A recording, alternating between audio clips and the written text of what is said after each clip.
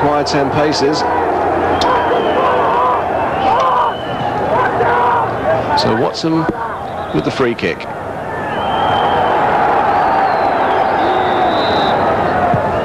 Pushing this one in. And the goal from Dave Ratcliffe.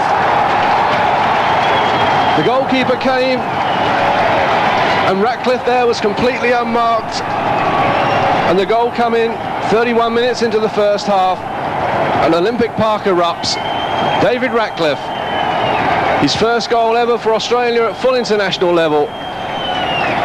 Free kick came across from Watson, the goalkeeper came and missed it and Ratcliffe had the goal at his mercy and planted it into the back of an empty net.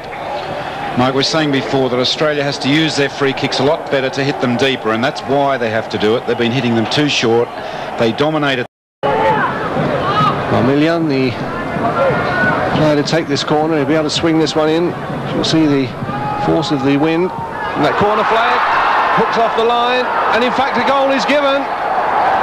The referee checked with the linesman on the far side, and he indicated a goal, and a goal coming one and a half minutes into the second half, direct from a corner kick from Marmillion.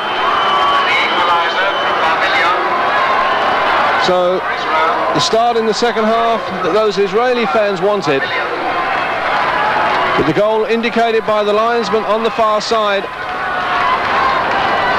and scored straight from the corner